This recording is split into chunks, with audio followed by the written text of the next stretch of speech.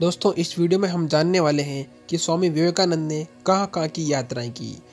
मात्र 25 वर्ष की आयु में स्वामी विवेकानंद ने गेरुआ वस्त्र धारण करके सन्यासी बन गए थे।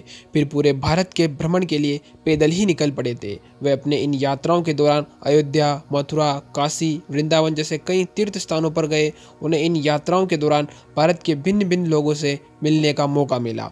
जिसमें अमीर, गरीब, ऊंच, नीच, जाति भेदभाव जैसे अनेक कृत्यों का भी पता चला, जिनको खत्म करने के लिए इन्होंने धर्म और सत्य के ज्ञान का सहारा लेकर उन्हें खत्म करने की कोशिश भी की थी।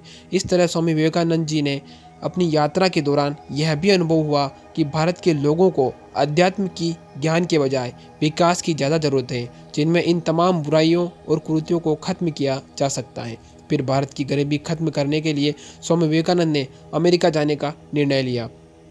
और फिर वह उन्हें मौका अठारह सौ तिरानवे ईस्वी के शिकागो में आयोजित विश्व धर्म सम्मेलन में भारत के प्रतिनिधि के रूप में मिला।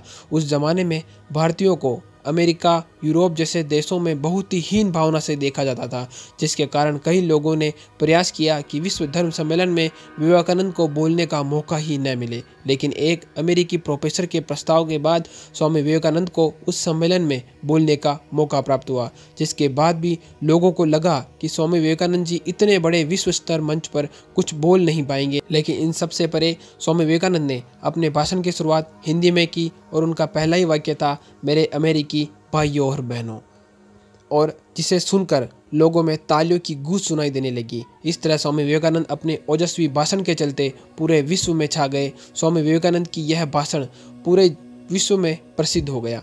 हाल ही में भारत के प्रधानमंत्री नरेंद्र मोदी ने भी इनका ज़िक्र करते हुए कहा कि अमेरिकी इतिहास में 11 सितंबर का बहुत बड़ा महत्व है। एक तरफ़ जहाँ वर्षों से पहले शांति की स्थापना के लिए इसी दिन स्वामी विवेकानंद ने धर्म सभा में अपना ओजपूर्ण भाषण दिया था, जबकि दूसरी तरफ़ विनाश की लीला के रूप में, आतंकवादी हमले के रूप में याद किया जाता है। स्वामी विवेकानंद ने इस भाषण के बाद, जिसके बाद में से पूरे दुनिया में भारत का कद ऊँचा हो गया था, फिर लगभग तीन वर्षों तक स्वामी विवेकानंद अमेरिका में ही रहकर वहाँ के लोगों को अध्यात्म और तत्व ज्ञान की अद्भुत ज्योति प्रदान की थी। इसके पश्चात वे भारत लौट आए। उन्होंने श्रीलंका का भ्रमण भी किया। इस दौरान वहाँ के लोगों को भी अध्यात्म के ज्ञान का प्रचार प्रसार किया।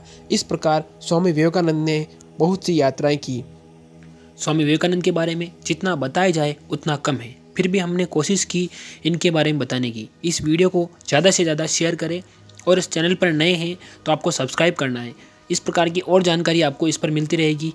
अगली वीडियो में हम मिलते हैं किसी नए टॉपिक के साथ। तब तक जय हिंद, जय चित्तौड़।